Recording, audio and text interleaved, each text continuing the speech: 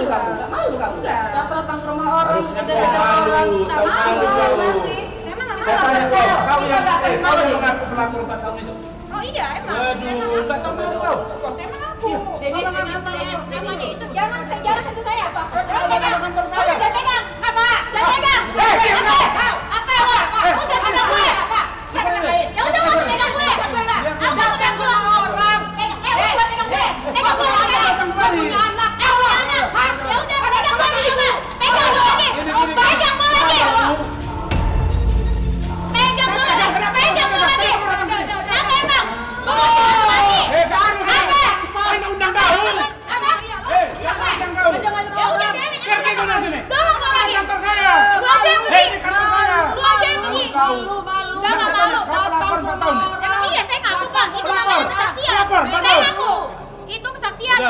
Cukup. Ini Udah, ya, udah. saya nggak kenal sama nih orang. Oh ya udah, kalau dulu datang, datang, datang ke rumah saya. Kita Emang jangan- nggak kenal, siapa?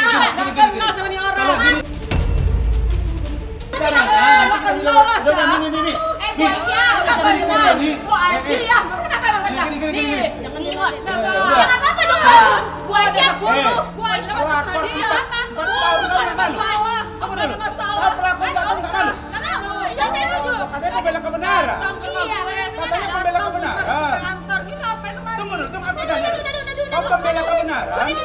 Kau udah, kok pelakor.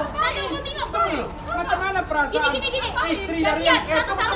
Oh, eh, kok Gini, gini. Oh, eh, Tahu. eh, botak. Eh, kau kenapa kau nggak datang kau ke sana? Ini, ini ada. Kau, kan? Ini ada apa sih? Oh, Eh, ya eh, gini, gini. Eh, kau Pak, melakor. eh. Eh, kau Eh. melakor empat tahun. Suka-suka gue. Eh, perempuan nggak Eh, nggak masalah sama dia. Oh, iya.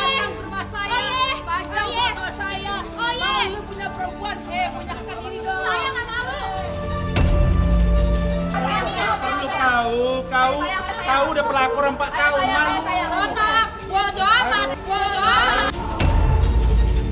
Itu namanya kesaksian. Udah, udah, udah, udah, udah. Udah, udah, udah. Udah, udah, udah, udah. Gini, gini, gini. Lucu aja. Aneh. Udah, ini security bisa nggak ini? Mbak, mbak, mbak, tolong dong, mbak. Ayo, kita pulang. Jalan pulang mana? Ya udah, depan. Pemalu. Oh, saya nggak malu. Ah, udah, udah. Kalau Eh, udah malu, udah, eh, cukup. Tunggu, Bu Ade. Mau makan. Ayo bang, Epokin, mau gimana bang? Kita nggak Udah diam kau, saya orang. Kau udah bilang nggak ada Eh, tahu jangan bohong. Udah, udah, udah. udah. Dong gue. Ingat Tuhan, ingat Tuhan. Kamu ingat Tuhan. Tuhan, Tuhan. Ustaz. Astagfirullahaladzim.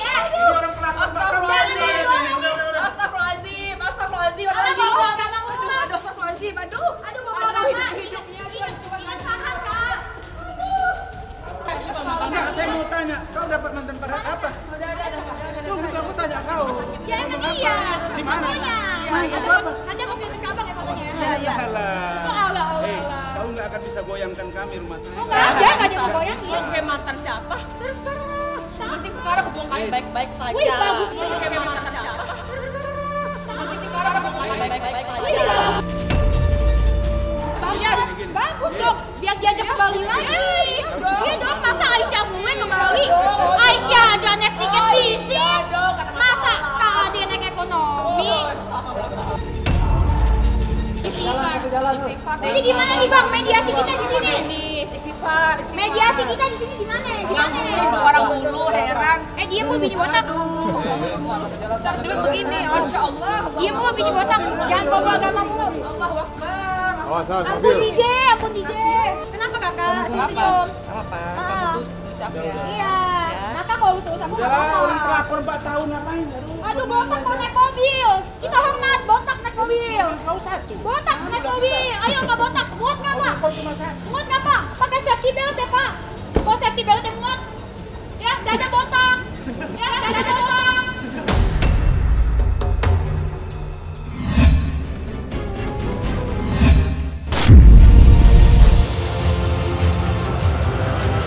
saksi terakhir atas laporan kita, laporan klien kami Agus Tiar M. Ismail bin, bin Ismail terkait eh, dugaan ya, dugaan eh, pelanggaran pasal ya dalam Undang-Undang ITE yang diduga dilakukan oleh akun ya sekali lagi akun Marcel Radival 1 dan Marcel Radival.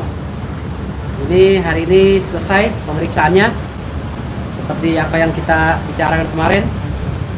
Kemarin eh, saudara Raka ini kemarin eh, dia berhalangan hadir minggu kemarin, makanya kami tunda dan hari ini kita eh, tunaikan panggilan Polres Metro Jakarta Selatan yang bagaimana bisa nanti dijelaskan oleh saudara Raka dan insya Allah untuk laporan kita terhadap Dr. Chapli minggu depan akan menyusul panggilan saksi-saksi.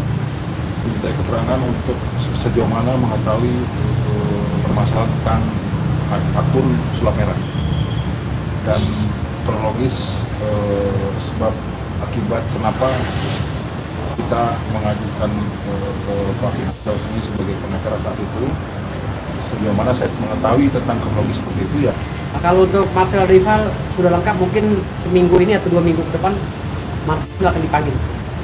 Sekitar setengah jam beliau tadi diperiksa. Ada beberapa pertanyaan yang dilayangkan kepada beliau dari penyidik, ya. karena eh, penyidik ingin mempertegas agar eh, penyidik bisa meyakini bahwa ini eh, bisa dilakukan eh, proses penyelidikan lebih lanjut mungkin juga bisa naik ke tingkat sidik. Maka dari itu eh, hari ini kita melengkapi eh, saksi-saksi terakhir ya. Eh, dengan beberapa saksi-saksi sebelumnya dan barang bukti dan alat bukti juga kita Mampirkan. lampirkan. ke pihak penyidik. Dan alhamdulillah prosesnya begitu lancar.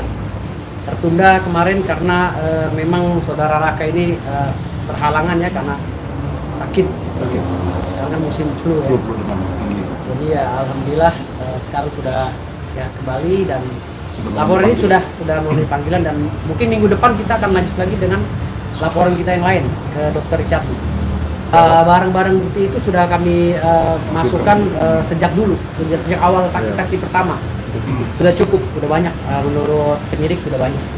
Jadi eh, Marcel juga eh, melakukan ini kan tidak sekali dengan tempos yang berbeda, ya tempos yang berbeda, lokus yang berbeda. Dia mengatakan hal yang sama dan menegaskan, bahkan mungkin bisa memastikan bahwa dukun itu kalau nggak cabul ya penipu. Jadi tidak ada bahasa Oknum. diduga atau oknum. Jadi uh, karena berulang-ulang itulah makanya uh, keyakinan saya bahwa penyidik mempunyai keyakinan juga untuk menaikkan uh, kasus ini ke tingkat sidik. Miris banget sih mas. Itu tadi di luar aja pas acara bareng ada orang ngajak foto eh, ini apa happy ketemunya pas segala macam. Di rumah ya diinjek-injek lagi dikasarin lagi dikata-katain lagi kayak gitu terus hidupnya ini. Dengan dengan notabene embel embel-embel imam. Kayak kayak gitu imam. Karena ada si imam yang kawin cerai empat kali semua yang gugat cerai istrinya belum sebelumnya menyatakan iya dan tidak kan ya kan pasti akan ada otomatis berpikir dong tidak serta merta mengiyakan atau mengiyakan. Nah eh, nyai eh, sempat sempat melihat ke kanan karena lawyernya ketawa-ketawa terus tuh. Iya. jadi kayak kayak malah tersepele gitu loh. Padahal di sini tuh serius banget. Terus eh, yang kebetulan tadi mendampingi eh, langsung kan ada Pak Asga, Pak Andika, Pak Kris dan lain sebagainya itu serius. Emang kita sangat menghormati atas adanya lembaga perkawinan diwakili oleh pengadilan agama. Nah tapi si lawyer yang bersangkutan ketawa-ketawa terus terus saya liatin gitu. Kok gini sih? gitu. Terus setelah nyai liatin ke lawyernya nyai langsung liatin ke sebelahnya itu Mas Andri. Tapi Mas Andri memperlihatkan ke itu membangkitkan trauma-trauma yang udah terjadi selama 9 bulan. Jadi gini bukannya perkataannya itu diterima dengan baik ya? Seharusnya kan senyum ya ini gitu atau enggak mah gimana gitu. Nah, itu kan mo- momen ini kan sangat berharga sebenarnya dan juga ini dia sangat hargain karena udah lama nggak ketemu di dipersatukan di suatu ruangan mediasi seharusnya dipergunakan dengan sebaik mungkin kalau misalnya se- sewajarnya orang senormalnya orang. Cuman mas Andri bisa bisanya gini gitu. Gitu nah, kok jadi ngeledekin nyai ini kok maksudnya apa jadi dan dulu tuh sering banget kayak gitu kalau di rumah Lewek ya. Iya, kayak ngeledekin Nyai, kayak apa ya? Terus Nyai bilang sama Pak media, mediator, Pak, Pak, Pak, itu Pak, dia ngeledekin Nyai lagi, dia mau merusak psikologinya lagi gitu. Kayak gitu terus, ya Allah saya kan itu nggak nggak perlu terjadi ya, no need ya. Kenapa disia-siakan momen itu? Gitu. Kalau aset itu kan segala sesuatu hal tentang kebendaan, baik itu properti, baik itu bisa kendaraan, baik itu eh, apa eh, tabungan kita gitu. Sampai berkali-kali suruh nyairin deposito segala macam. Enggak saya nggak mau. Karena ya itu nggak nggak sinkron.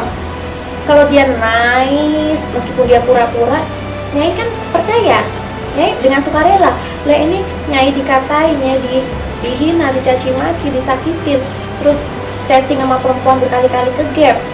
Jadi perselingkuhan tuh bisa banyak faktor loh. Chatting pun itu udah termasuk perselingkuhan karena nyai tahu yang dimaksud orang itu gitu. Nah terus mau gitu suruh nyairin deposito atau apa? Ya nggak mau lah. Karena karena udah biasa dia ngantri nyai ke eh, jual perhiasan tuh udah biasa. Jadi kayak maaf ya laki-laki kok em, punya harga diri nggak sih? Gitu.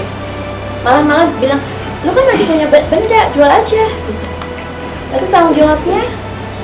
Gitu. Dia malah sering kadang ngumpet-ngumpetin apa yang punya karena ya dia seperti itu. Kecuali baik hangat sopan setia. Dia nggak butuh apa-apa.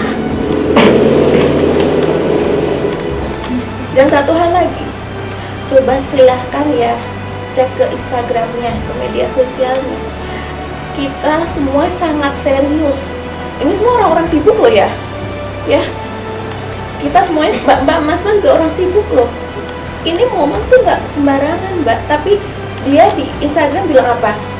Ah ah, aku mah ini apa senang-senang di atas motor bukan kesenang-senang di atas penderitaan orang senang-senang di atas kelebayan kita dianggap lebay mbak. Ini hidupnya loh. Sampai melahirkan sampai punya anak loh. Nggak main-main tapi dia selalu menganggap rendah menganggap remeh